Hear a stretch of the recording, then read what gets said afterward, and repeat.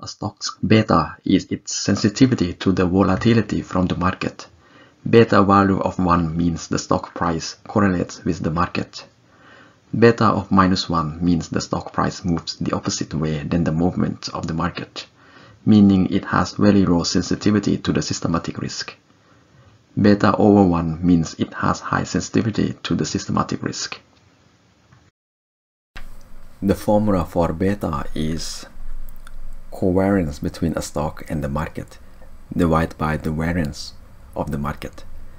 Basically, it is the correlation between a stock and the market multiplied by standard deviation of the stock in relation to the market standard deviation. Correlation between a stock or a company and the market varies depends on which market you are using as reference and how diversified this market is. Standard deviation of a stock or a company in relation to the market standard deviation varies depends on the market and how diversified it is, in addition to how the company is structured, like the cost structure and the debt level. Let's calculate beta in the spreadsheet. We will use the formula where we take the covariance and divide by the variance. We have already gone through how covariance is calculated and how to use the spreadsheet to calculate it. So you take the covariance between the S&P 500 and Apple divided by the variance of the S&P 500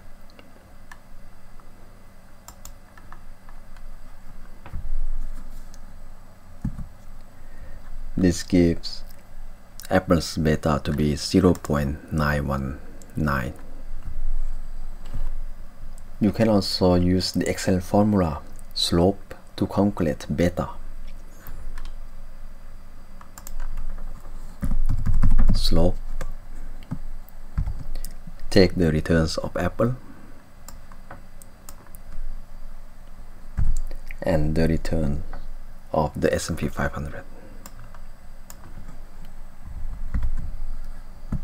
This gives value of 0.919, same value as we calculated earlier.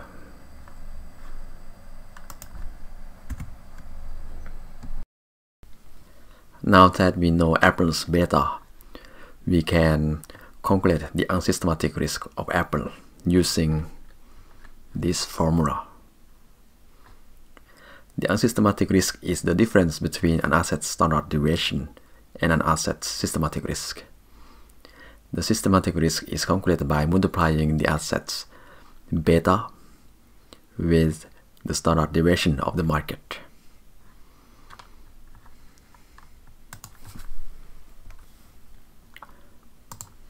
So Apple's beta multiplied by standard deviation of the S&P 500.